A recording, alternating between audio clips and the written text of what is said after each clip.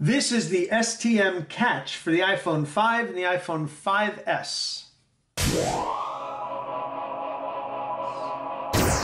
Hi, Dan from Gear Diary. Today we're going to take a quick look at STM's catch for the iPhone 5 and the iPhone 5S. This is a polycarbonate and TPU case with a thickness of 1.6 millimeters, that's 0.06 inches. It has an MSRP of $34.99 and it comes in black, charcoal, and white. STM is actually pretty generous with what they include with this case. You get the case, you get a uh, chance to win some cool stuff. You get an application card, you get a chamois for applying the back and the screen protector.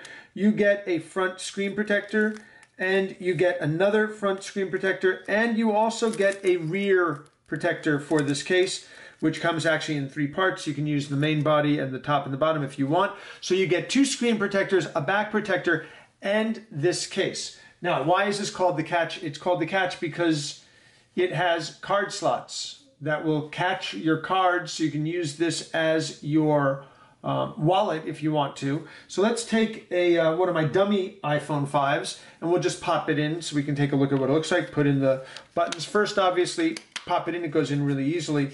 And what you'll see as soon as it's inside is that you get a little bit of lay on the table protection, not a lot, but but you do get some and complete easy access to the screen. Here on the bottom, you've got a grill over the microphone and the speaker, which is really nice, but it's open. You have an opening for the lightning connector and obviously an opening for the 3.5 millimeter headphone jack. Coming along to this side, you have the volume up and the volume down buttons, and the mute toggle is a little bit recessed into the case, but totally accessible nonetheless. And then you have the sleep awake button right here so that you can obviously have complete functionality with the phone.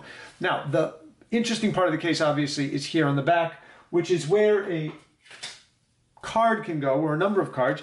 So the idea with this obviously is that you take a couple of cards, a credit card, a license, that sort of thing, and you can slide it in and it'll hold that card.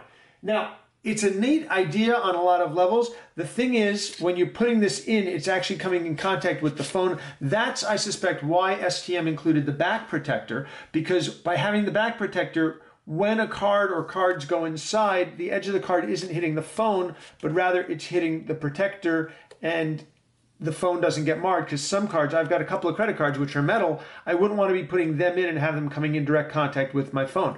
So what you get here is you do get you know, a case that functions as a wallet. Is it as refined as some of the other ones that we've seen? Not a chance. This is a pretty simple case. I mean, basically what they did is that they cut pieces here, raised the back a little bit and cut pieces, but you can fit a number of cards and we'll have some pictures uh, in the full written review over on Gear Diary showing what this looks like when you've loaded it up with cards and what STM is suggesting for this case and how you, one uses it. This is the STM catch for the iPhone 5 and the iPhone 5S. Again, it comes in black, charcoal, and white. It has an MSRP of $34.99. This is Dan for Gear Diary. Thanks very much for watching.